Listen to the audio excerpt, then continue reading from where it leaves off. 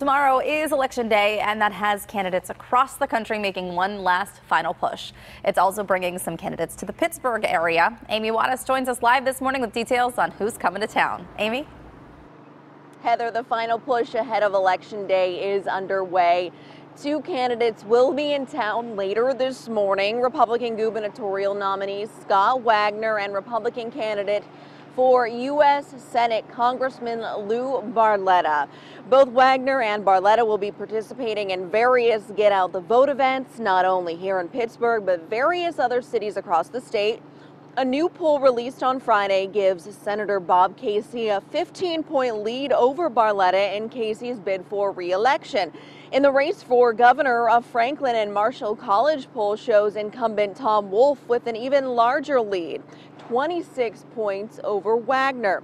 Events for both Barletta and Wagner kick off at 8.30 this morning. Wagner's event will be held in Robinson at the Central Diner and Grill, and Barletta's event will be held at the Fort Allen Volunteer Fire Department in Greensburg. We're live this morning. Amy Wadas, KDKA TV Morning News.